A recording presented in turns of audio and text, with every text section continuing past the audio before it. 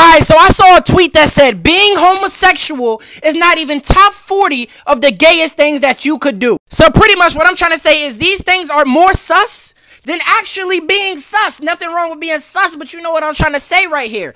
Let's go. First, we got instead of just eating the food when it's hot, you decide to do some pussy ass shit like blow on the food because it's too hot.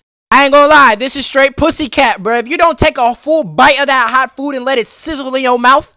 Next, we got using the umbrella during the rain.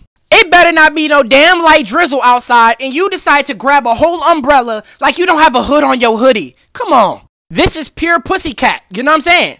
Next, we got as a grown man, a grown, I don't care if you in fifth grade, a grown ass man walking around with the It's My Birthday pin in school.